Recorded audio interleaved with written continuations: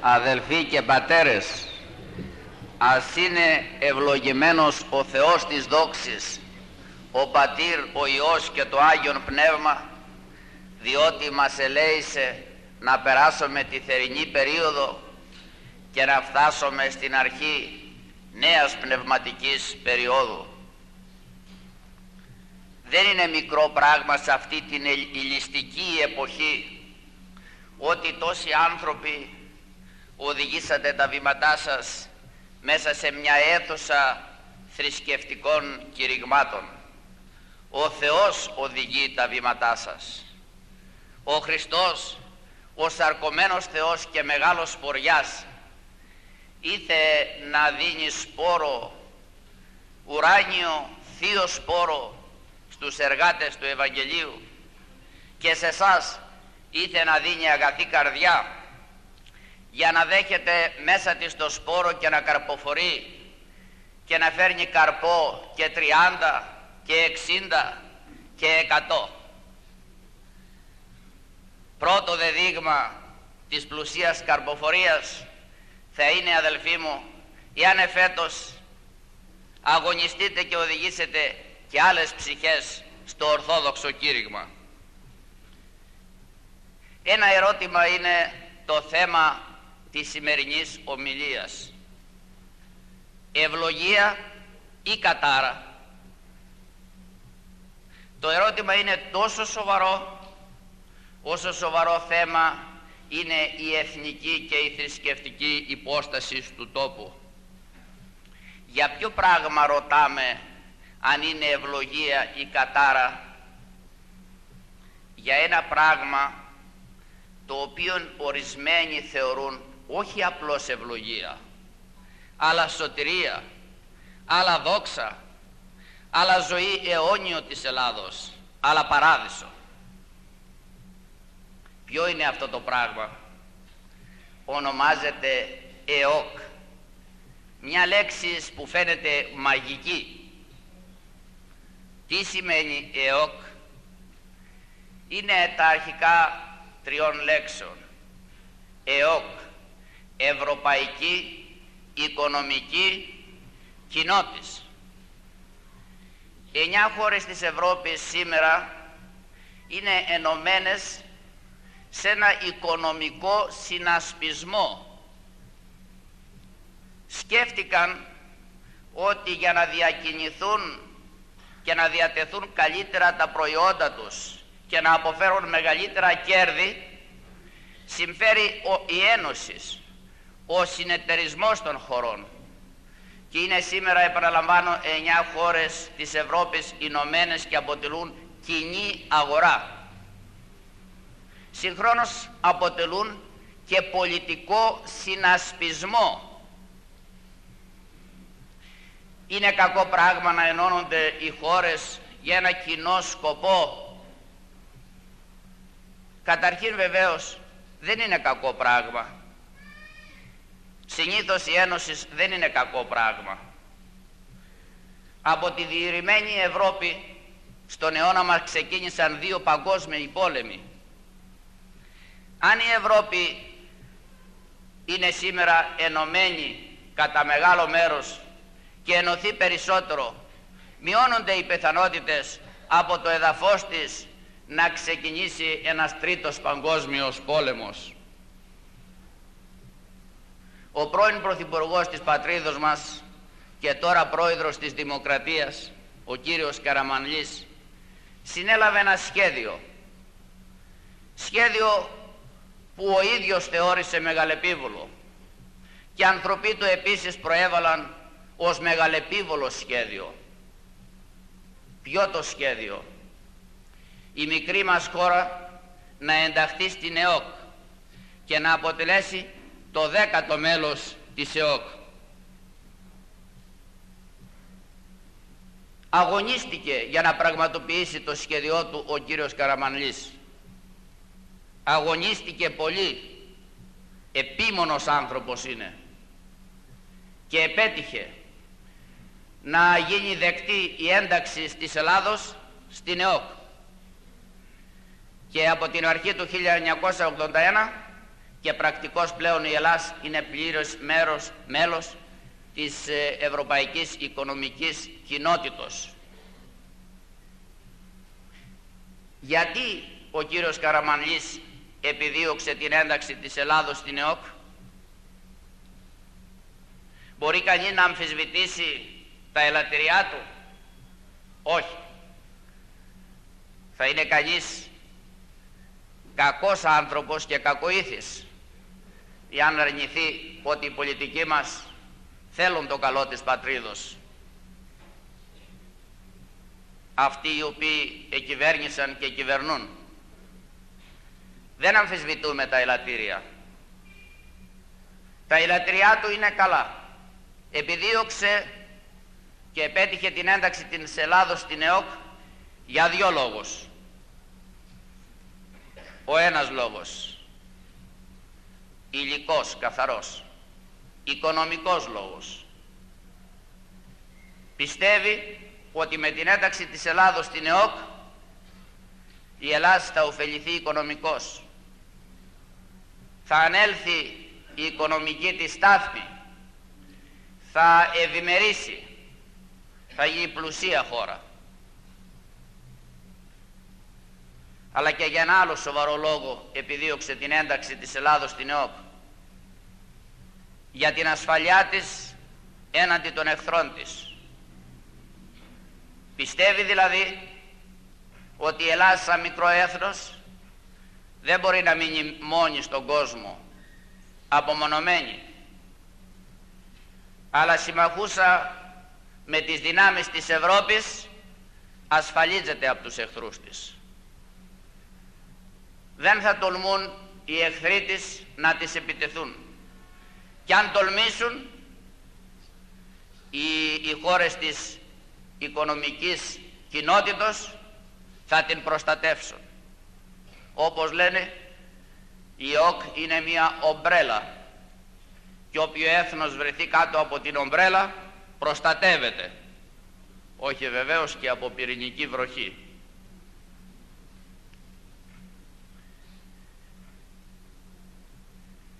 Γεννάται όμως το, το ερώτημα. Στην πραγματικότητα είναι προς το συμφέρον της Ελλάδος η ένταξη στην ΕΟΚ.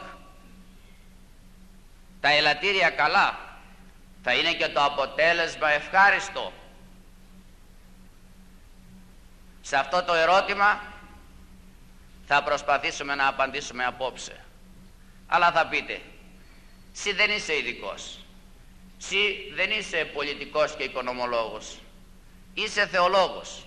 Πώς θα απαντήσεις; Μπορεί και ένας θεολόγος να απαντήσει αδελφοί μου. Μπορεί και ένας απλός άνθρωπος να απαντήσει. Δεν είμαστε ειδικοί, οικονομολόγοι, πολιτικοί. Είμαστε όμως άνθρωποι με κοινό νου ο κοινός νους είναι οι βάσεις όλων των πραγμάτων. Δεν νομίζω ότι όλη η σοφία και οι γνώσεις έχει συγκεντρωθεί μέσα σε μια κεφαλή εδώ στην πατρίδα μας.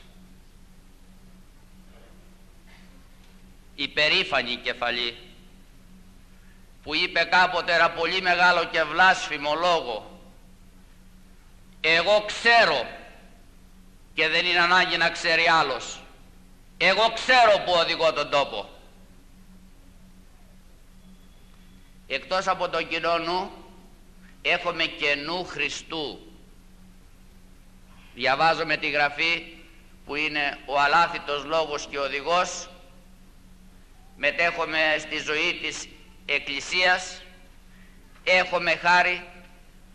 Νομίζουμε ότι έχουμε και εμείς Πνεύμα Άγιον όπως έλεγε ο Απόστολος και καταλαβαίνουμε περισσότερα από ό,τι καταλαβαίνει κανείς με τον κοινό νου. Επιπλέον ακούμε και γνώμης ειδικών. Και τέλος το θέμα της ΕΟΚ έχει πολλές πλευρές και για μερικές πλευρές αρμοδιότεροι από όλους να ομιλήσουν είναι οι θεολόγοι. Και εμείς σε εκείνες κυρίως τις πλευρές θα επιμείνουμε για εκείνες τις κυρίως τις πλευρές ενδιαφερόμεθα. Μία πλευρά στην οποία είμαι θα αναρμόδιοι αλλά μπορούμε να πούμε όπως είπαμε μερικά πράγματα είναι η οικονομική πλευρά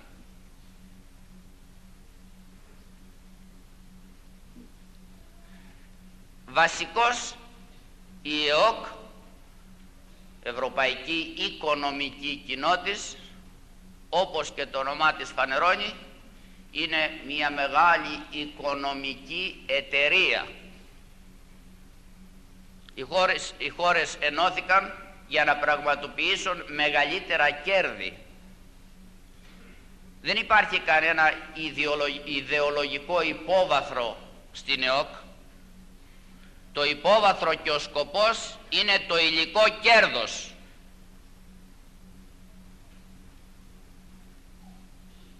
Σε αυτή την εταιρεία μπήκαμε κι εμείς με την ελπίδα ότι θα πραγματοποιήσουμε μεγάλα κέρδη. Αλλά θα πραγματοποιήσουμε μια χώρα για να κερδίσει μέσα σε αυτό τον οικονομικό συνασπισμό των κρατών χωρών πρέπει να έχει συναγωνιστική δύναμη στους διαφόρους τομείς της παραγωγής. Πρώτος βασικός τομεύς η γεωργία. Εάν ένα έθνος, μια χώρα έχει εύρωστη γεωργία, στέκει καλά το έθνος αυτό. Και αν γίνει πόλεμος και αποκλεισμός θα επιβιώσει διότι έχει γεωργικά αγαθά. Είναι εύρωστη η γεωργία στην Ελλάδα. Αν κοιτάξουμε τα χαρτιά, τις στατιστικές, θα δούμε ότι στην Ελλάδα υπάρχουν 800.000 γεωργικές οικογένειες. Ευλογία Θεού θα πει κανείς εξετάζοντας τα πράγματα επιπολέως. 800.000 γεωργικές οικογένειες. Πολλοί γεωργοί. Λάθος. Στα χαρτιά πολλοί στην πραγματικότητα είναι αδύνατη η γεωργία. Γιατί; Στην Ελλάδα τώρα τελευταία επικρατεί μια άλλη αντίληψης. Αντίληψης περιφρονήσεως προς τους εργάτας της γης. Και στις ημέρες μας, ως επιτοπλίστων, τη γη καλλιεργούν άνθρωποι ηλικιωμένοι, 50 και 60 και 70 ετών, και περισσότερων ετών. Γέροντες άνθρωποι οι νέοι έχουν άλλη νοοτροπία την οποία δεν κατεμπολέμησε το κράτος. Οι νέοι θεωρούν κατώτερο της θεσεώς τους να ασχοληθούν με γεωργικά έργα. Οι φοιτητέ το καλοκαίρι πάρουν στη Μακεδονία όπου ο Θεός δίνει μεγάλη ευλογία γεωργική ευλογία Στη Μακεδονία οι φοιτητές το καλοκαίρι κάθονται στα καφενεία, παίζουν τάβλη, βομολογούν, εσχρολογούν, πολιτικολογούν και όταν οι ηλικιωμένοι γονείς τους τους παρακαλούν να βοηθήσουν να μαζέψουν τα ροδάκινα αρνούνται. Τι δεν είναι δική μας δουλειά λένε. Εδώ στην Ελλάδα φύεται το πιο ευλογημένο δέντρο, η ελιά. Μερικές χρονιές ο Θεός δίνει μεγάλη ευλογία στον τόπο μας. Κατάφορτες είναι οι ελιές. Τα τελευταία χρόνια δεν υπάρχουν χέρια να μαζέψουν το καρπό και σαπίζουν. Σε άλλες χώρες η γεωργία είναι επιστήμη. Εδώ είναι τέχνη και σε πολλά μέρη της Ελλάδος είναι πρωτόγονη τέχνη. Πώς θα συναγωνιστούμε στο γεωργικό τομέα αδελφοί μου τους Ιταλούς που είναι άριστοι στη γεωργία που έχουν κάνει την Ιταλία ένα απέραντο περιβόλι.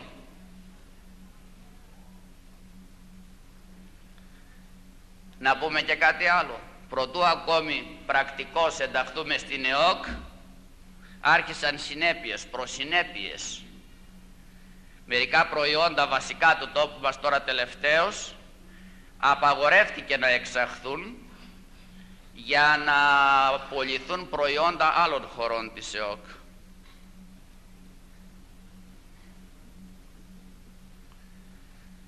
Κοντά στη Γεωργία, αδελφή τέχνη, έρχεται η κτηνοτροφία. Είναι σπουδαία και η κτηνοτροφία. Και τώρα τελευταία είναι σπουδαιότερη. Γιατί είναι σπουδαιότερη; Γιατί εμείς οι Έλληνες δώσαμε μεγάλη έμφαση στις ζωικές τροφές και μάλιστα στα κρέατα. Γίναμε πολύ κρεατοφάγοι και το κρέας δεν υπάρχει χωρίς κτηνοτροφία. Υπάρχουν κτηνοτρόφοι στην Ελλάδα. Παλαιότερα ήταν γεμάτη η πατρίς από βοσκούς και από πίμνια, μικρότερα και μεγαλύτερα και πολύ μεγάλα πίμνια. Τώρα ταξιδεύεις στην Ήπεθρο επί ώρες και κάπου κάπου βλέπεις κανένα τσοπάνο και κανένα, και, και κανένα πίμνιο. Τα κρέατα έρχονται ως επιτοπλίστων απ' έξω και είναι πολλές φορές επιβλαβή όπως έγραψαν αυτές τις ημέρες οι εφημερίδες και ανεστάτωσαν τους κοιλιοδούλους.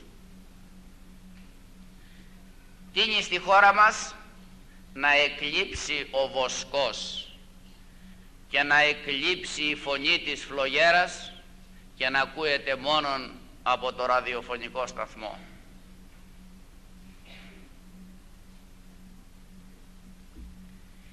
Η πατρίδα μας είναι γεμάτη από βιοτεχνίες, ιδίως μικροβιοτεχνίες. Τι λένε οι ειδικοί,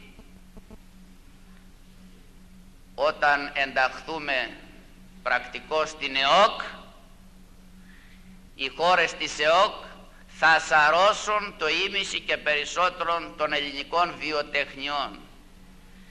Οι ταλέποροι βιοτέχνες, οι ταπεινοί αυτοί επαγγελματίες θα μείνουν άνεργοι.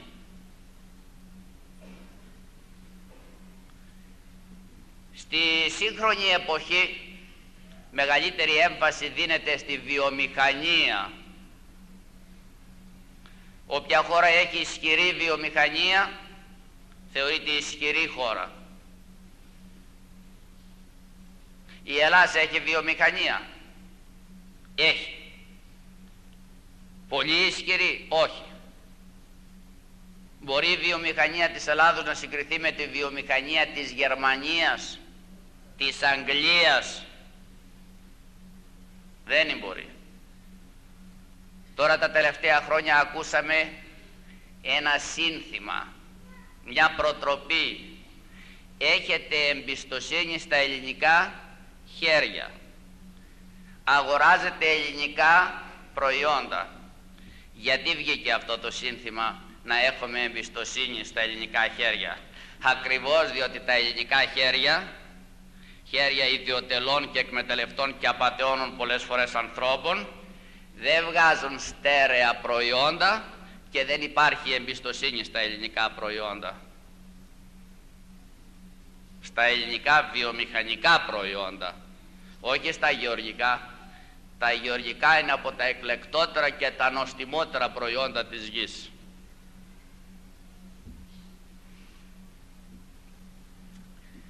Είναι ένας τομέας όπου φαίνεται ότι θα καταγάγω με θρίαμβο ποιος είναι αυτός ο τομέας; Της εμπορικής ναυτιλίας.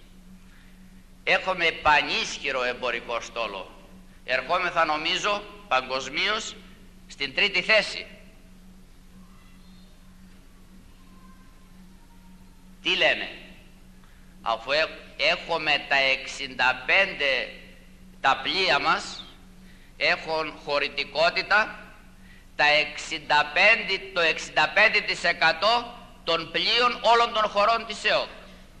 Αφού λοιπόν έχουμε τόσα πολλά πλοία, πλοία με τόση μεγάλη χωρητικότητα, θα εκτελούμε τις περισσότερες μεταφορές και θα πλουτίσουμε.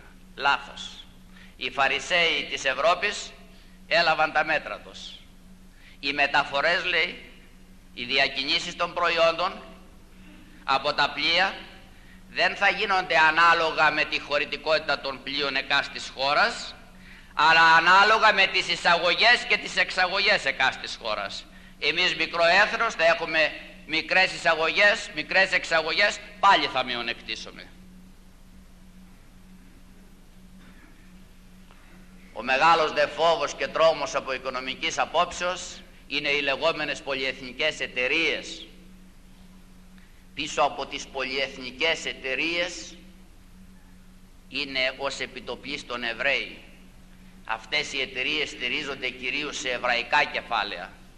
Θα προσλάβουν ο συνεταίρος και Έλληνας, αλλά οι Έλληνες θα είναι οι πτωχοί συγγενείς. Οι πολυεθνικές εταιρείες θα εισβάλλουν στην Ελλάδα και θα εκμεταλλευτούν όλο τον υπόγειο πλούτο της Ελλάδος.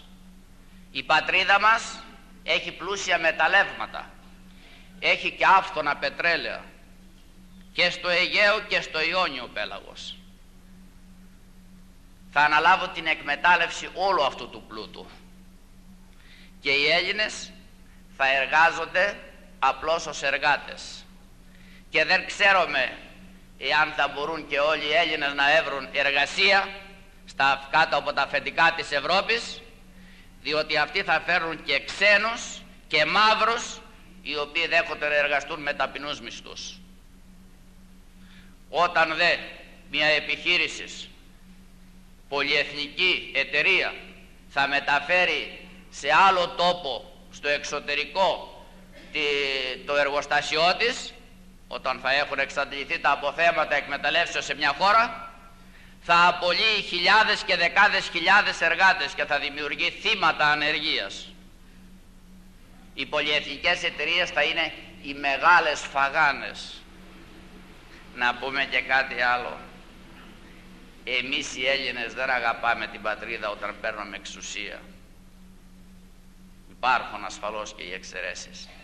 Πήρε ο άλλος την εξουσία κάνει συμφωνία με την εταιρεία του εξωτερικού παίρνει μια μεγάλη προμήθεια και παραδίδει τον πλούτο της Ελλάδος αρκεί που πλωτίζει αυτός με την προμήθεια.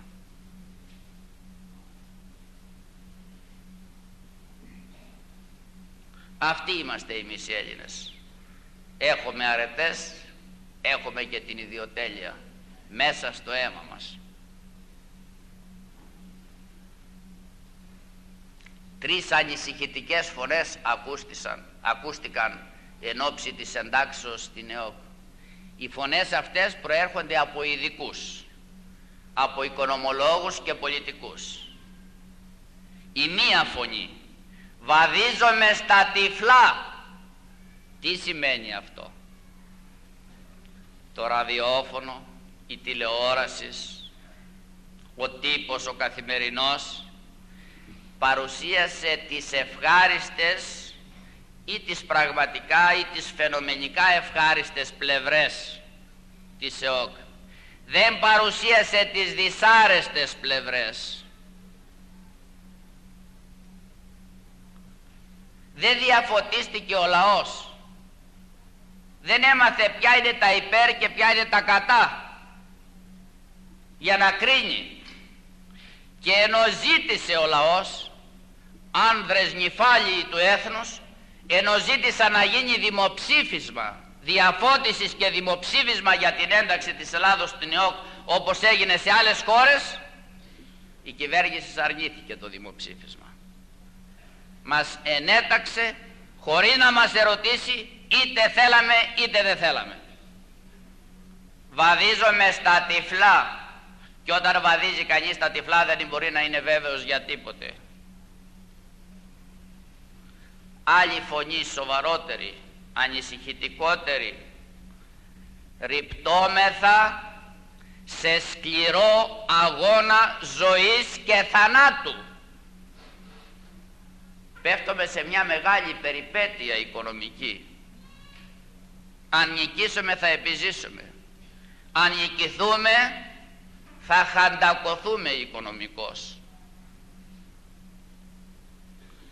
Και άλλη φωνή πιο ανησυχητική. Τρομερή φωνή. Πέφτομαι στο λάκκο των λεόντων. Και όταν πέφτει κανείς στο λάκκο των λεόντων καταβροχθίζεται από τους λέοντας.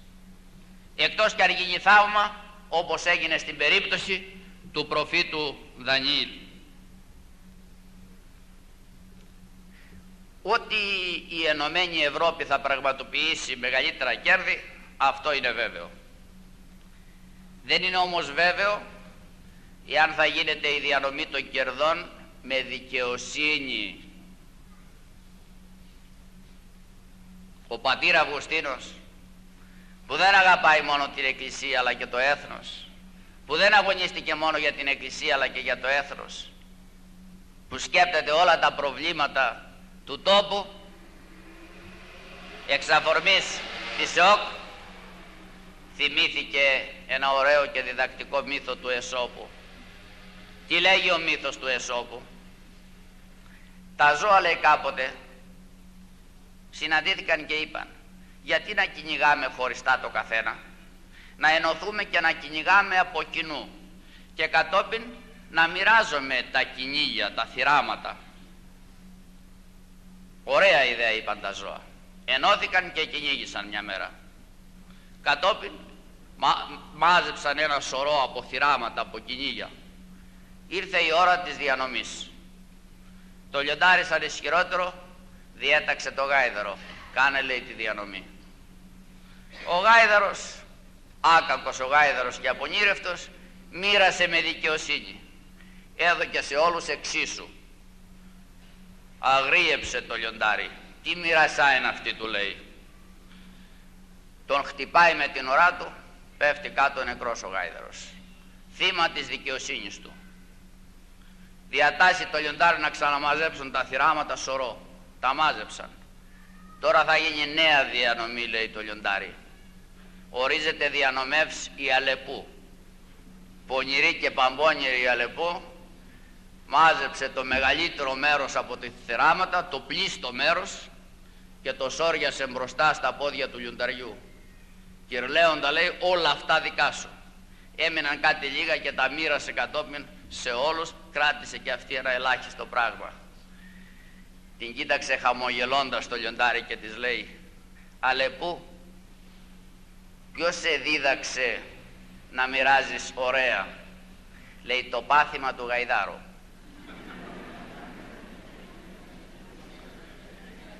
η ΕΟΚ είναι λεόντιος εταιρεία. Και εμείς είμαστε αρνάκια και προβατάκια μέσα σε αυτή την εταιρεία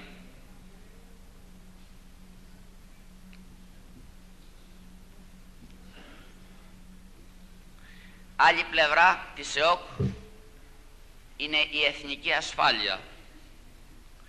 Είμαστε ένα μικρό έθνος και οι πολιτικοί μας είπαν δεν μπορούμε μόνοι μας να επιβιώσουμε στον κόσμο. Πρέπει να συμμαχίσουμε με κάποιες δυνάμεις ώστε να μην τολμούν οι εχθροί μας να μας προσβάλλουν ή αν τολμήσουν να έχουμε την προστασία των συμμάχων μας και να τους αντιμετωπίσουμε. Πρέπει να μπούμε κάτω από την προστατευτική ομπρέλα της Ευρώπης. Έτσι είπα. Αλλά τίθεται πάλι ένα ερώτημα. Η Ευρώπη είναι αυτοδύναμη; Κρατάει η ίδια την προστατευτική ομπρέλα; Δεν είναι αυτοδύναμη.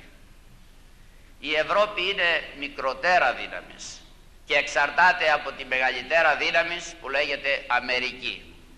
Ηνωμένες Πολιτείες της Αμερικής.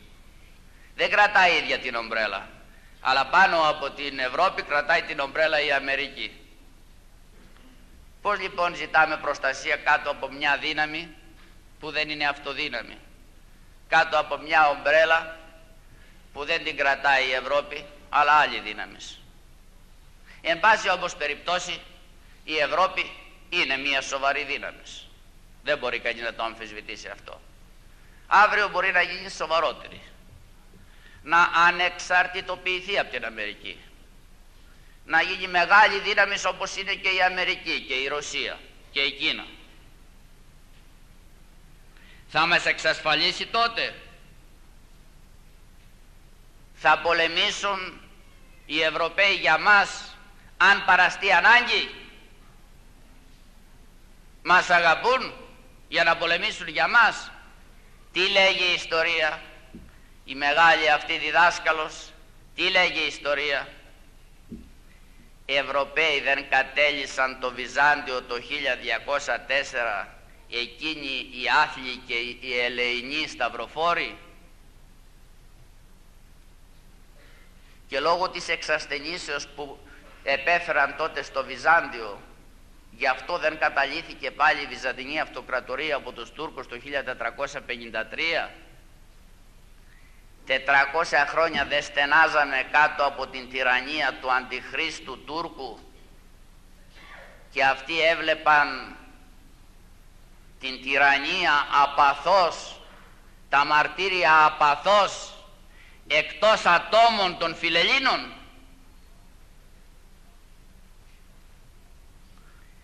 και δεν έκαναν, οι Ευρω... δεν έκαναν ιερή συμμαχία. Ανίερη συμμαχία. Όπου κυριαρχούσε η απεσία μορφή του Μισέλινος Μέτερνιχ και δεν κήρυξαν το δόγμα της ακαιρεότητας της Οθωμανικής Αυτοκρατορίας ότι δηλαδή δεν πρέπει κανείς να πειράξει την Τουρκία και να αποσπάσει εδάφη από την Τουρκία. Με άλλα λόγια ότι οι λαοί δεν έπρεπε να επαναστατήσουν να αποκτήσουν την ανεξαρτησία τους.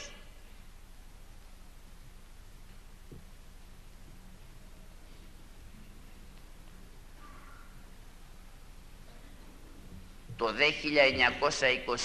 1922 το μεγάλο αυτό δράμα δεν οφείλεται πάλι στους Ευρωπαίους. Αυτοί δεν έδωκαν όπλα στον Κεμάλ και μας πολεμούσε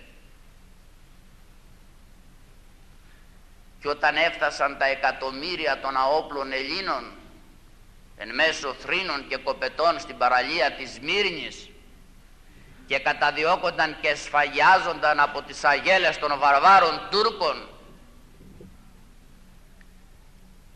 και τα θορυκτά των Ευρωπαίων να βλουχούσαν μέσα στη θάλασσα της Μύρνης και με λίγες ομοβροντίες των τηλεβόλων μπορούσαν να τρέψουν σε άτακτη φυγή τους Τούρκους δεν έβλεπαν και τότε το δράμα των Ελλήνων απαθώς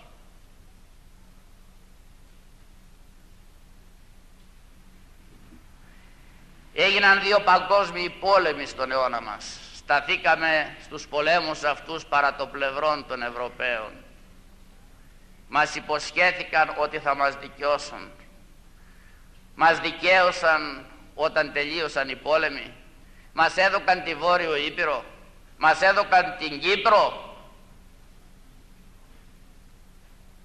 Όχι μόνο δεν μας δικαίωσαν, μας εδίχασαν και είχαμε και εμφύλιο παραγμό μετά το δεύτερο παγκόσμιο πόλεμο. Και τώρα τελευταία πάλι δεν έπαιξαν εις βάρος μας άτιμο παιχνίδι. Είμαστε τόσο αφελείς εμείς οι Έλληνες να πιστέψουμε ότι τόλμησε ο Τούρκος, ο Ατήλας να προχωρήσει και να καταλάβει τη μισή σχεδόν Κύπρο χωρίς την έγκριση των Ευρωπαίων και των άλλων μεγάλων δυνάμεων του κόσμου. Έξι-επτά χρόνια τώρα από τότε που κατέλαβε ο Ατήλας στην Κύπρο έξι-επτά χρόνια πέρασαν και καμία λύση στο δράμα. Εμπεγμή επί εμπεγμών τώρα δε προσφάτως οι Τούρκοι αδίστακτοι διότι ξέρουν τις διαθέσεις των Ευρωπαίων και των άλλων δυνάμεων μετέθησαν τα όρια στην περιοχή της Μόρφου 500 ακόμη μέτρα προς το εσωτερικό της Κύπρου.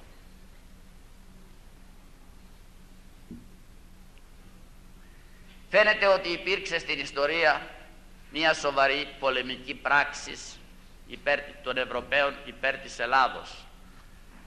Το Ναβαρίνο. Αλλά και το Ναβαρίνο, η ναυμαχία του Ναβαρίνου δεν ήταν επίσημη απόφαση των, των μεγάλων δυνάμεων. Ήταν αυθόρμητη πράξη των ναυάρχων.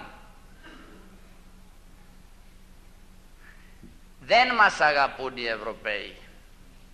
Μας φθονούν και μας μισούν γιατί μας φθονούν γιατί είμαι θα ευφυής λαός. Και δεν μπορούν εύκολα να μας εκμεταλλευτούν. Στους πολέμους μας εκμεταλλεύτηκαν. Αλλά σε άλλα πράγματα δεν μπορούν εύκολα να μας εκμεταλλευτούν. Μας μισούν ακόμη βαθύτερα διότι είμαστε ορθόδοξοι. Αυτοί είναι αιρετικοί και σαν αιρετικοί είναι ενεργούμενα του σατανά και γι' αυτό μας μισούν. Αυτό δεν μπορεί να το καταλάβουν αυτοί που κυβερνούν δεν μπορούν να το καταλάβουν. Ότι αυτοί στο βάθος μας μισούν γιατί είμαστε ορθόδοξοι.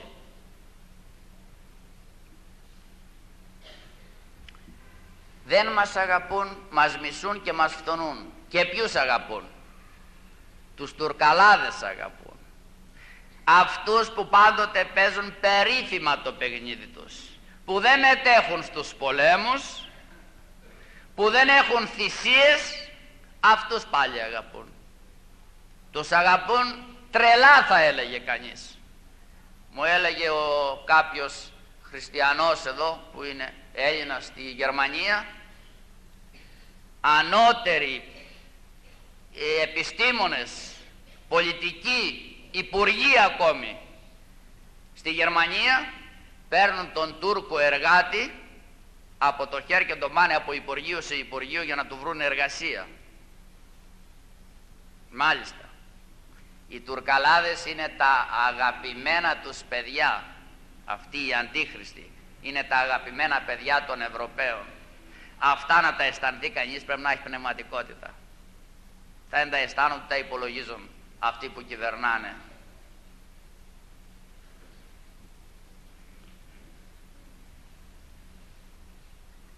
Έπειτα αδελφοί μου, έχει διαφθαρεί πάρα πολύ η Ευρώπη. Δεν έχει κανένα ιδεαλισμό η Ευρώπη. Είμαστε κατώτεροι σε τεχνικό πολιτισμό, αλλά είμαστε ανώτεροι σε πνευματικό πολιτισμό. Παρόλη την πτώση που έχουμε υποστεί και εμείς εξ επιδράσεως των ξένων κυρίως, είμαστε ανώτεροι από αυτούς. Αυτοί έχουν σαπίσει τελείως και έχουν σαπίσει προπολού όταν οι στρατιές του Χίτλερ εισέβαλαν στην, ε, στο έδαφος της Γαλλίας οι Γάλλοι έλεγαν «Πουρκουά, γιατί να πολεμήσουμε» και παραδόθησαν αμαχητοί. Αυτοί που δεν πολέμησαν για την ίδια τους την πατρίδα πώς θα πολεμήσουν για μας;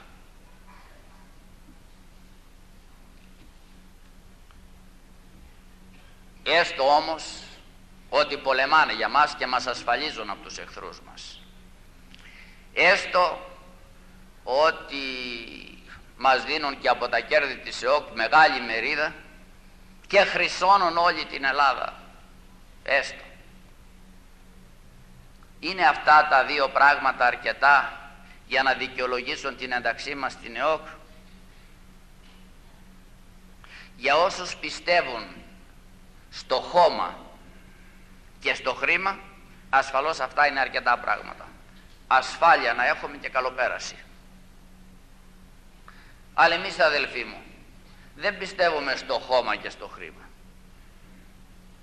Εμείς δεν πιστεύουμε ότι ο άνθρωπος είναι ένα εξυλιγμένο κτίνος. Εμείς πιστεύουμε στο πνεύμα. Πιστεύουμε στις ιδέες. Πιστεύουμε στην αιωνιότητα. Και αυτά τα πράγματα θεωρούμε ασυγκρίτως απείρως ανώτερα από τα υλικά πράγματα. Αυτά δε τα ασυγκρίτως, τα απείρως ανώτερα πράγματα κινδυνεύουν σοβαρός από την ένταξή μας στην ΕΟΚ. Πιο συγκεκριμένα.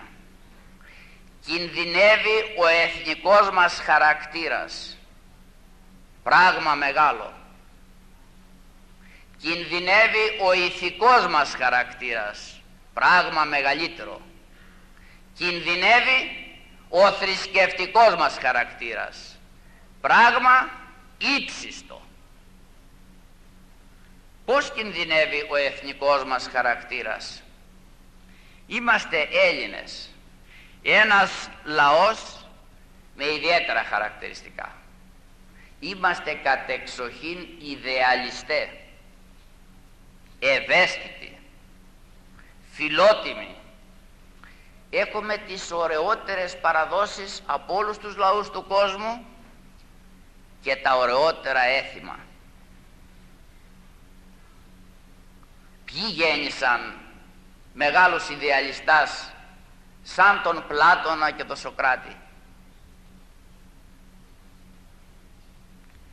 Ποιοι γέννησαν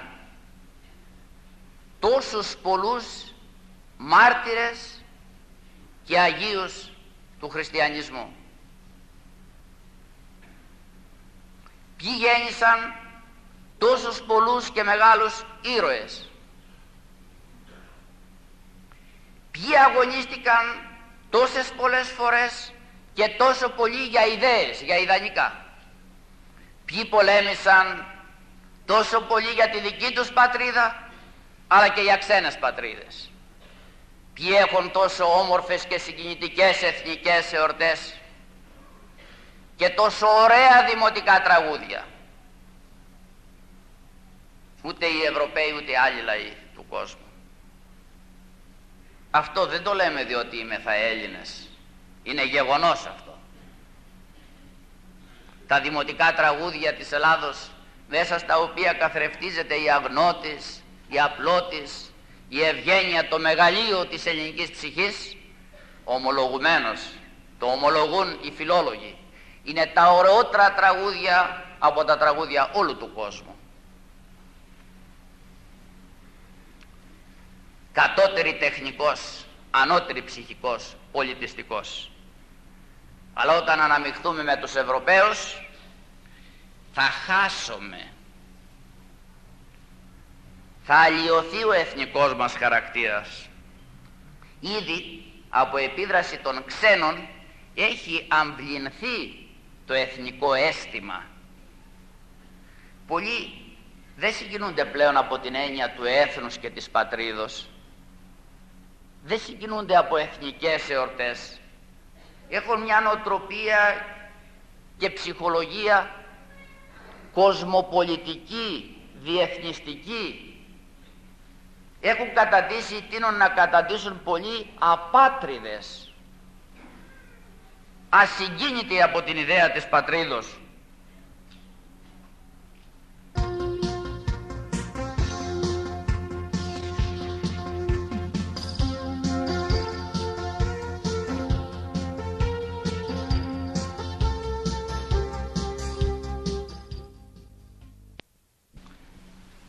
Και το χειρότερο το κράτος εν ώψη της ενταξεώς μας στην ΕΟΚ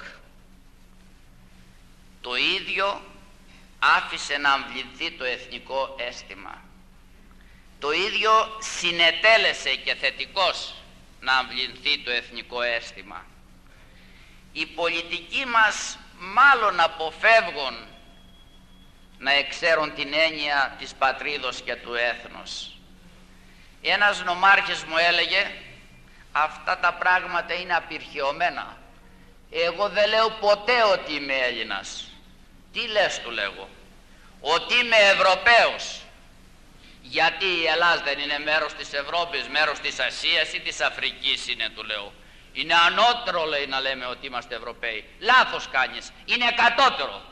Εμείς δώσαμε τα φώτα στην Ευρώπη. Δεν πήραμε, δώσαμε. Πήραμε προδοσίες μόνον.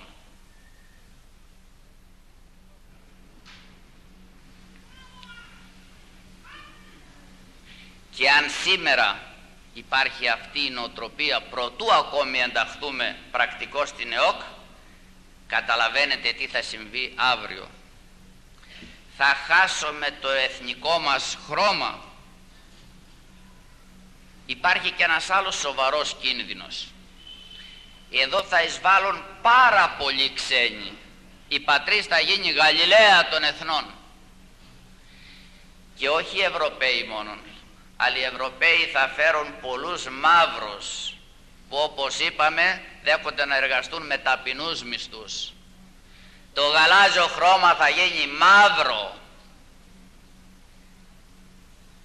Θα ηλιωθεί ο χαρακτήρ του έθνους και κατά ένα τρόπο θα χάσουμε την εθνική μας ανεξαρτησία. Γιατί; Αφού η Ελλάς θα διευθύνεται μάλλον από τις Βρυξέλλες και όχι από την Αθήνα θα κατατήσει η Ελλάς ένα είδος ρωμαϊκής επαρχίας.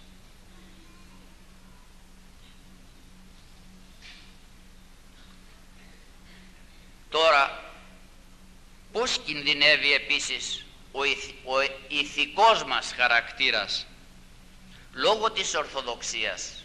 Οι μίσοι Έλληνες έχουμε αυστηρές ηθικές αντιλήψεις και αρχές αυστηρές και ως προς το άτομο και ως προς τη συζυγία και ως προς την οικογένεια και ως προς την κοινωνία γενικότερα. Οι Ευρωπαίοι της ΕΟΚ επειδή είναι αιρετικοί, παπικοί και προτεστάντες έχουν χαλαρές ηθικές αντιλήψεις. Το βλέπουμε από τους τουρίστας. Είδατε τι αντιλήψεις και τι συμπεριφορά έχουν και τι εμφάνιση οι τουρίστες. Αυτές οι αντιλήψεις των Ευρωπαίων θα συντελέσουν ώστε και εδώ στην Ελλάδα να αμβληνθεί το ηθικό αισθητήριο και ήδη εξ επιδράσεως των ξένων έχει σοβαρός αμβληνθεί το ηθικό αισθητήριο απόδειξης ο γυμνισμός οι ξένοι δίδαξαν το γυμνισμό στους Έλληνες και τώρα έχει επεκταθεί ο γυμνισμός σε όλο σχεδόν τον ελληνικό λαό. Άλλη απόδειξης. Η αντίληψη που έχει σήμερα ο ελληνικός λαός κατά μεγάλο μέρος για τα σεξουαλικά αμαρτήματα. Παλαιότερα έφρυταν οι άνθρωποι πρώτων σεξουαλικών αμαρτημάτων, τώρα γελούν το γέλιο αυτό το πήραμε από τους Ευρωπαίους. Απόδειξης ότι έχει πλημμυρίσει ο τόπος από πορνικά έργα και πορνικά φυλάδια. Από την Ευρώπη πήραμε και αυτό το κακό παράδειγμα.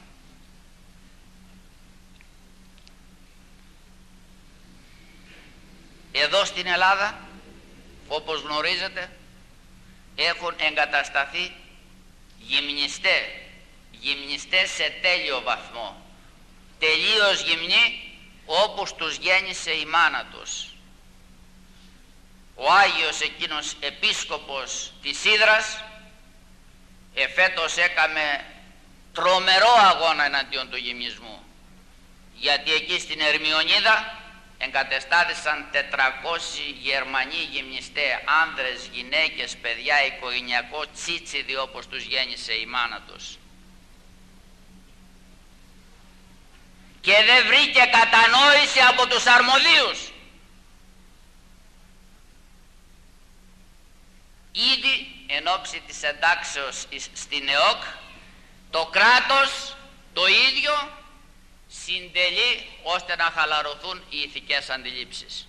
Επέτρεψε το γυμνισμό, την πορνογραφία και έχει πρόγραμμα λένε να επεκτείνει τα γυμνιστικά στρατόπεδα στην Ελλάδα. Είπαμε κι άλλοτε ότι ένας πολιτικός είπε ότι φιλοδοξεί να κάνει την Ελλάδα Σουηδία.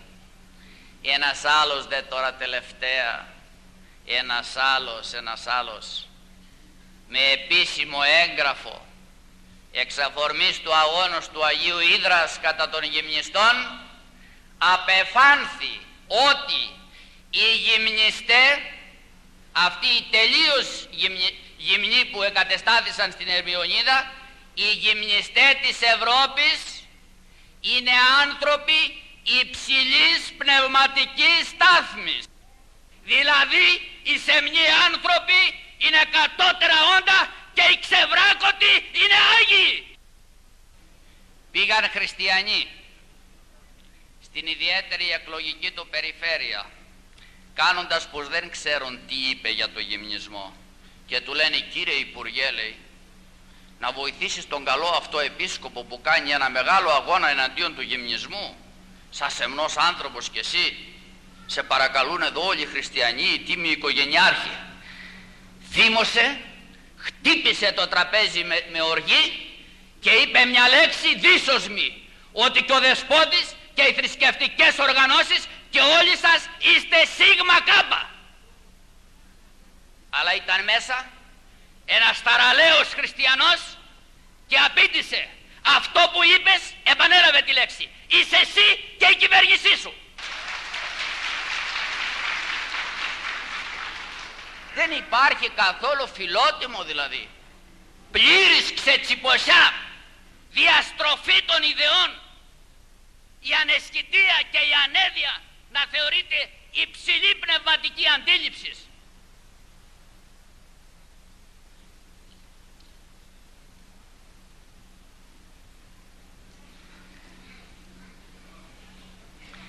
Ήδη το κράτος έχει προχωρήσει σε μεγάλο ηθικό ξεχαρβάλωμα. Έχει νομιμοποιήσει τις αμβλώσεις. Έχει κάνει νόμο υπέρ του αυτομάτου διαζυγίου. Πόσο μακριά βρίσκονται, μακριά βρίσκονται οι πολιτικοί μας από το αίσθημα του ελληνικού λαού όταν κάνουν τέτοιους νόμους. Πού το περίμενε ο κύριος Σταμάτης; Παίρνουν τα αξιώματα και μεθούν και νομίζουν ότι η Ελλάδα είναι μόνο αυτή. Δεκάδες χιλιάδες τηλεγραφήματα διαμαρτυρίας και, και συμπαραστάσεως στο Μητροπολίτη Φλωρίνης δεκάδες χιλιάδες τηλεγραφήματα.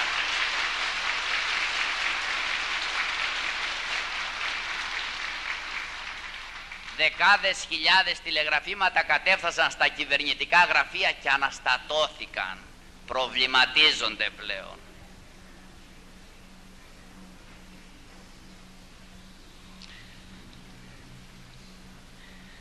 Στο μέλλον αναμένονται να συμβούν χειρότερα πράγματα. Σκέπτονται λέει να εισαγάγουν στα σχολεία το μάθημα της σεξουαλικής αγωγής να ερεθίζονται ακόμη περισσότερο τα ταλέμπορα παιδιά και να μην μείνει αγνός άνθρωπος στον τόπο. Καταρτίζουν οικογενειακό δίκαιο τροποποιούν το οικογενειακό δίκαιο. Θα έχετε ακούσει για το σχέδιο Γαζί. Έχει εξωφρενικά πράγματα μέσα. Σας λέω ένα. Σύμφωνα με το νέο οικογενειακό δίκαιο το σχέδιο θα μπορεί η γυναίκα να μένει σε άλλο σπίτι χωριστό από τον άνδρα. Ο εστίμη θερμινευόμενον να διασκεδάζει με άλλους άνδρες και να επιστρέφει στον όμιμο άνδρα και να του λέγει «Εισέπραξε το μηνιάτικο για καλλιτικά και για να με θέψεις». Έτσι αντιλαμβάνονται την οικογένεια οι κύριοι αυτοί. Έτσι την αντιλαμβάνονται οι Ευρωπαίοι, έτσι θέλουν να την κάνουν και αυτοί εδώ. Έχουν γράψει και άρθρα στις εφημερίδες ότι η οικογένεια είναι απειρχαιωμένος λέει θεσμός. Δεν χρειάζεται η οικογένεια να ζούμε σαν ρεμάλια δηλαδή Μα είναι σατανικές ιδέες αυτές. Σατανικά πράγματα. Δεν το έχουμε καταλάβει και εμείς οι χριστιανοί ότι βρισκόμαστε στις παραμονές της εμφανίσεως του Αντιχρίστου.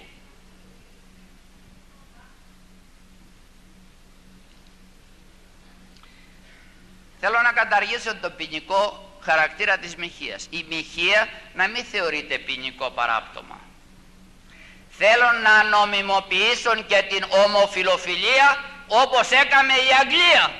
Και αυτός ο Άγιος τόπος που είναι γεμάτος από Αγίους και μάρτυρες να γίνει Σόδομα και Γόμορα.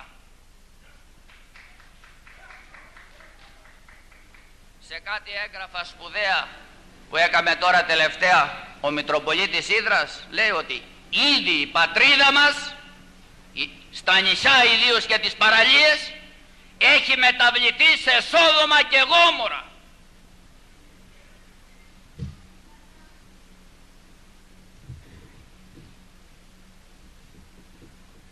Πώς κινδυνεύει τέλος ο θρησκευτικός χαρακτήρας μας; Είμαστε ορθόδοξοι αδελφοί. Διατερήσαμε την πίστη καθαρή 100%. Αμαρτωλή αλλά με ορθή πίστη. Δεν οφεύσαμε την πίστη όπως οι παπικοί, όπως οι προτεστάντες. Η Ορθοδοξία είναι ο μεγάλος τίτλος. Η μεγάλη μας ιδέα. Το μεγάλο μας ιδανικό. Απόλυτο. Αιώνιο ιδανικό. Ο θησαυρός μας ο ανεξιχνίαστος. Οι ξένοι, οι Ευρωπαίοι της ΕΟΚ είναι όλοι αιρετικοί. Άλλοι παπικοί θεοποίησαν σχεδόν έναν άνθρωπο. Άλλοι προτεστάντε. Εκείνοι είναι όλοι πάπε. Όπως θέλει ο καθένας εξηγεί την Αγία Γραφή. Ό,τι θέλει ο καθένας διδάσκει. Η ανάμιξή μας με τους αιρετικούς αυτούς παπικούς και προτεστάντες που είναι χίλια κομμάτια είναι οι προτεστάντες θα επιφέρει πάλι άμβλυνση του θρησκευτικού αισθητηρίου και ήδη έχει επέλθει άμβλυνσης. Υπάρχουν στην Ελλάδα αρκετοί οικουμενιστές δηλαδή άνθρωποι οι οποίοι υποτιμούν τα δόγματα, την ορθή πίστη, την ορθοδοξία και ζητούν την ένωση με τους παπικούς και με τους προτεστάντας όχι την ένωση στην αλήθεια αλλά η ισοπαίδωση των δογμάτων. Η ισοπαίδωση των ομολογιών γίνεται δε και πλήσεις εγκεφάλου από το ραδιόφωνο και διαμέσου του τύπου για αυτά τα πράγματα ήδη το κράτος εν ώψη της εντάξεως στην ΕΟΚ έχει προβεί σε πράξεις σαφώς κατά της Ορθοδόξου πίστεως. Πρώτον, μέσα στο Σύνταγμα, το τελευταίο Σύνταγμα, η επίσημος θρησκεία του κράτους, η Ορθοδοξία, κατ' ουσίαν εξισώνεται με τις αιρέσεις.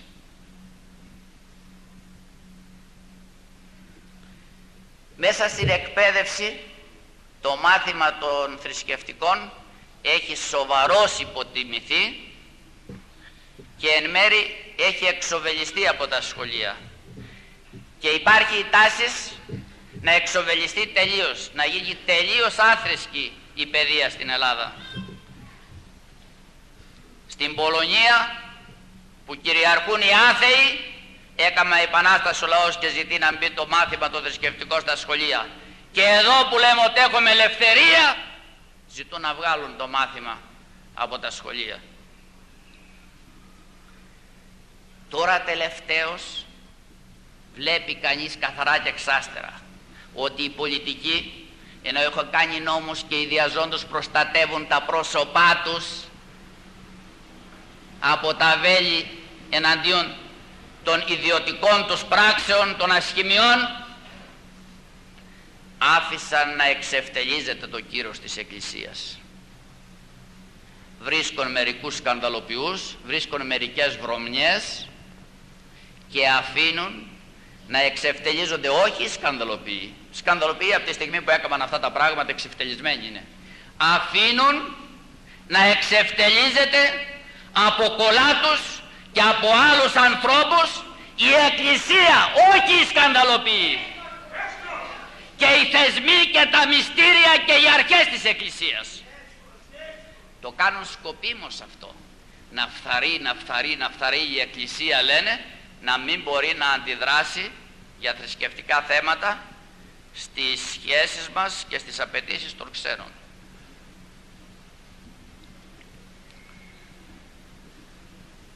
Οι χιλιαστέ λέγονται μάρτυρες του Ιεχωβά γιατί η σπορά τους είναι από τους Εβραίους.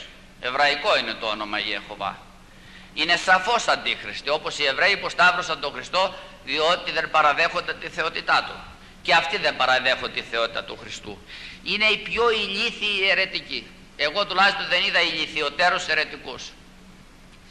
Οι ηλίθιοι των ηλίθιων.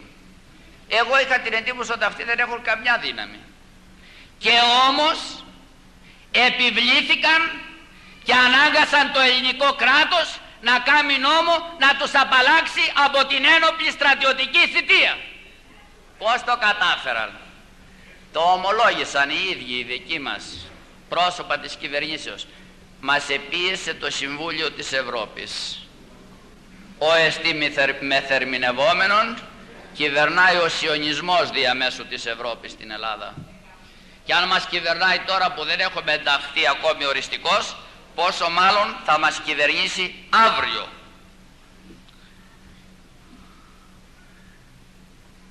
Άλλο ανησυχητικό σημείο. Το κράτος, χωρίς μάλιστα να ερωτήσει την ιεραρχία και το λαό, συνήψε διπλωματικές σχέσεις με το κράτος το κοσμικό του Πάπα, το Βατικανό. Και τώρα έχουμε εδώ αντιπρόσωπο του Πάπα, ο οποίος, ο οποίος, ο οποίος είναι ένας θρησκευτικός κατάσκοπος. Στο μέλλον αναμένονται να συμβούν χειρότερα πράγματα. Για να ευχαριστήσω με τους εταίρους της ΕΟΚ θα επιχειρηθεί η ένωση των εκκλησιών. Η ένωση όχι στην αλήθεια, αλλά με την έννοια της ισοπεδώσεως των δογμάτων. Δεν έχουν σημασία τα δόγματα, εμπρός να ενωθούμε όλοι. Έτσι παρουσιάζουν το πράγμα οι κύριοι αυτοί. Οι ξένοι έχουν ένα πράγμα που είναι φρικτό δηλαδή. Δεν υπάρχει πουθενά αυτό στην αρχαία εκκλησία. Χειροτονούν γυναίκες ιέρειες η ιεροσύνη αντιπροσωπεύει την ιεροσύνη του Χριστού. Πανάρσεν Άγιον το Κυρίο. Δεν είπε πανθήλη. Αυτοί έκαναν οι γυναίκες. Ενώ η Εκκλησία δεν έδωκε την ιεροσύνη ούτε στη Θεοτόκο. Χειροτονούν οι γυναίκες. Τώρα και εδώ παρουσιάζονται και λένε πρέπει να χειροτονούνται οι γυναίκες. Ένας καθηγητής του Πανεπιστημίου, απαξιούμε να αναφέρομαι και το όνομά του, ο οποίος τρέχει και υπερασπίζει τους αθέους και τους βλασφήμους στα δικαστήρια είπε να γίνει και γυναίκα αρχιεπίσκοπος γιατί όχι; Και παπάδες στο εξωτερικό μου έλεγαν στο εξωτερικό ορθόδοξοι Έλληνες παπάδες μέσα στην εκκλησία είπαν εδώ είναι ένας χριστιανός δεν τον βλέπω τώρα που ήρθα από την Αμερική μου είπε μέσα στην εκκλησία τώρα άκουσε με τα αυτιά του τον παπά λέει πρέπει λέει να προοδεύσουμε λέει να προχωρήσουμε στις αντιλήψεις να συγχρονιστούμε. Γιατί όχι, λέει, γιατί να μην χειροτονούμε και γυναίκες ιέρειε. Σηκώθηκε πάνω αυτός ο χριστιανός, ασθενής μάλιστα, και επανειλημμένω διαμαρτυρήθηκε και έτσι συμμαζεύτηκε ο παππούλης. Μάλιστα. Επίσης οι ξένοι θέλουν να καταργήσουν τις γιορτές μας. Έχετε λέει πολλές γιορτές. Η θρησκεία σας λέει πολύ καθυστερημένο σας έκανε. Να καταργήσουν το άβατον του Αγίου Όρος. Να πηγαίνουν τα ρεμάλια της Ευρώπης εκεί να βλέπουν έτσι τα ιερά κοιμήλια, να κλέβουν κιόλα, έχουν κλέψει, έχουν γεμίσει τα μουσεία της Ευρώπης και της Αμερικής από κλοπημαία από τη μαλφή της πατρίδος μας. Τα ράσα επίσης θέλουν να καταργήσουν. Δεν είδατε τι λέει αυτός ο μεγάλος της Ελλάδος; Έλω ράσο να βλέπω, μη μου φωτογραφίζετε με ράσα. Το θεωρούν έτσι αντιαισθητικό το ράσο. Αλλά αυτό το ράσο πολέμησε και έκαμε ελεύθερο τον τόπο και πήρε ο Κύριος αυτός εξουσία τι ήδη ακόμη τι συμφωνίες έχουν και πόσα πράγματα θα συμβούν αδελφοί τελειώνω πολλές δοκιμασίες πέρασε το ελληνικό έθνος το Ισραήλ και η Ελλάς είναι τα πιο δοκιμασμένα αλλά και τα πιο μεγάλα και δαιμόνια έθνη της ιστορίας η μεγαλύτερη δοκιμασία ήταν ότι ήμασταν 400 χρόνια δούλοι των Τούρκων, των βαρβάρων των αντιχρίστων. 400 χρόνια. Θα ενόμιζε κανείς ότι θα αφομοιωθούμε. Θα γίνουμε ένα με τους τυράννους. Δεν αφομοιωθήκαμε. Διασώσαμε την εθνική μας και τη θρησκευτική μας υπόσταση. Βγήκαμε μέσα από τη δειγμασία. Έλληνες και χριστιανοί Ορθόδοξοι. Τι μας έσωσε; Η πίστη στο Θεό μας έσωσε. Τώρα μάλλον το έθνος μπαίνει στη χειρότερη δοκιμασία. Ήδη μπήκε στη χειρότερη δοκιμασία. 400 χρόνια δεν αφομοιωθήκαμε με τους Τούρκους.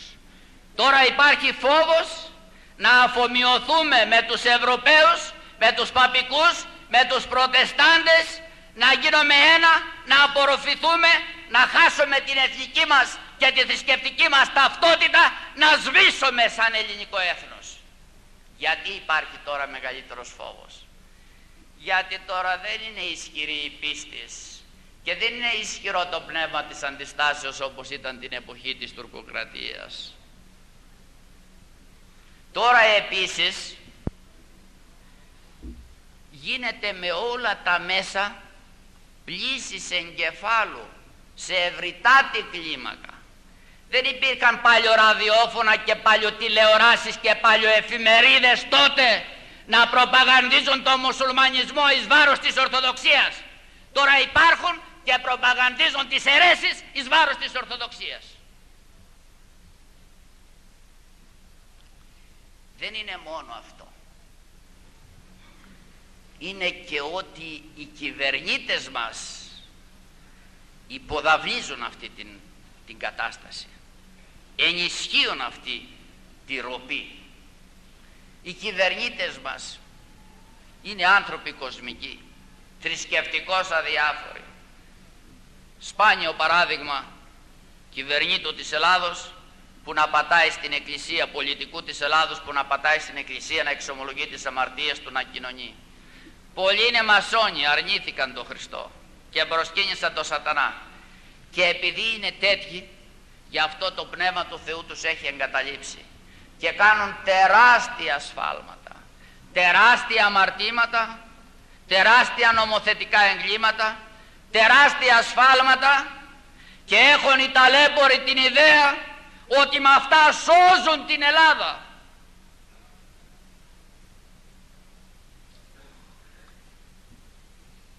Γι' αυτό η ένταξή μας στην ΕΟΚ δεν είναι ευλογία, είναι μάλλον κατάρα. Ένα γερμανικό περιοδικό, ξέρετε τι έγραψε; Δεν μπορέσαμε λέει να καταστρέψουμε την Ελλάδα με άλλους τρόπους σε καιρούς πολέμων θα την καταστρέψουμε τώρα με την ένταξή της στην ΕΟΚ. Θα μας απορροφήσουν, θα μας φάγουν, θα μας εξαφανίσουν. Αυτό λέει το περιοδικό της Γερμανίας. Σοβαροί δεξένοι ερμηνευτέ λένε ότι τα δέκα κέρατα του θηρίου της Αποκαλύψεως του Αντιχρίστου, οι δέκα χώρες δηλαδή πάνω στις οποίες θα στηριχθεί ο Αντίχριστος, είναι οι χώρες της ΕΟΚ, έτσι λένε. Αν αυτή η ερμηνεία είναι σωστή η Ελλάς είναι το δέκατο κέρατο του Αντιχρίστου. Δεν ξέρω αν είναι σωστή η ερμηνεία αδελφοί μου. Ξέρω όμως ότι πίσω από αυτά τα σχήματα είναι το πνεύμα του Αντιχρίστου. Είναι το πνεύμα του Αντιχρίστου. Όταν θέλει τέτοιους νόμους και δίνει τέτοιες κατευθύνσεις και ασκεί τέτοιες πιέσεις πάνω στους λαούς είναι το πνεύμα του Αντιχρίστου και το πνεύμα του σατανά.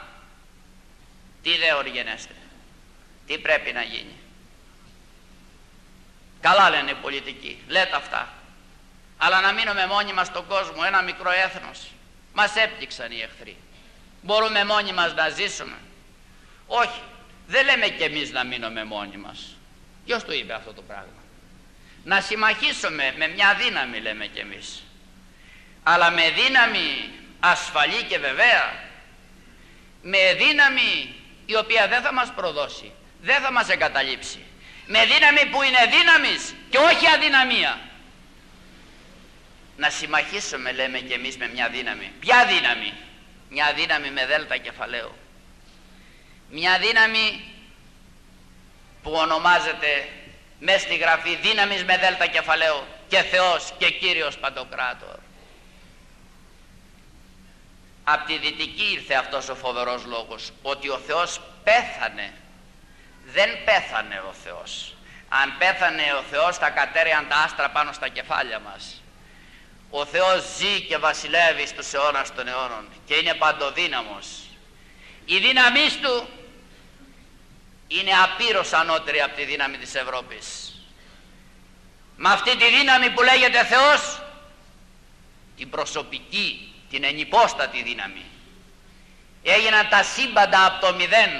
Τι είναι η Ευρώπη και τι είναι η Γη και τι είναι ο ήλιος μπροστά σε 300 δισεκατομμύρια γαλαξίες. Με αυτή τη δύναμη συνέχονται και συγκρατούνται και κυβερνώνται τα σύμπαντα. Με αυτή τη δύναμη έγινε η Εκκλησία που προδίδεται εσωτερικός, πολεμείται εξωτερικός και ζει δυο χιλιάδες χρόνια και κάνει θαύματα. Με αυτή τη δύναμη ένας γέρος έγινε μεγάλο έθνος. Έλα είπε στον Αβραάμ, θα σε πάρω, θα σε κάνω δικό μου, εκλεκτό μου, θα σε ευλογήσω. Θα προέλθουν από σένα έθνη και ένα έθνος εξαιρετικό και βασιλείς και η ευλογία της ανθρωπότητος. Έτσι έγινε. Το Ισραήλ αυτό είναι μεγάλο έθνος όπως το ελληνικό. Για τα μεγάλα ελαττώματά του πολλές φορές δοκιμάστηκε και για τις αρετές του, αρετές του πολλές φορές δοξάστηκε. Αυτή η δύναμη ο Θεός πήρε και το ελληνικό έθνος και πολλές φορές το έσωσε και πολλές φορές το εδόξασε και κατέπληξε αυτό το έθνος την Ευρώπη και όλο τον κόσμο. Ο Θεός ζητάει συμμαχία μαζί Του. Στην Παλαιά Διαθήκη καμιά φορά δεν επέτρεψε συμμαχία του Ισραήλ με άλλη δύναμη. Στην εποχή του Ισαΐα ήταν δυο μεγάλες δυνάμεις, η Αίγυπτος, η Ασσυρία. Άλλοι έλεγαν να πάμε με τους Αιγυπτίους, άλλοι με τους Ασσυρίους.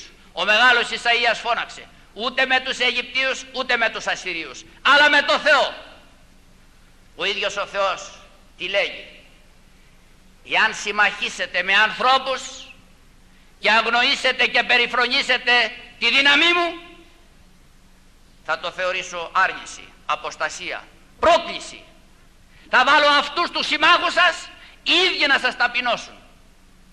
Η συμμαχή σας λέγει είναι μια καλαμίνη ράβδος, εύθραυστη. Πάτε να στηριχτείτε πάνω σε αυτό το καλαμένιο ραβδί. Θα σπάσει το ραβδί και οι ακίδες θα μπουν μέσα, μέσα στα κρέατά σας και θα αισθανθείτε ο διγυρός πόνος.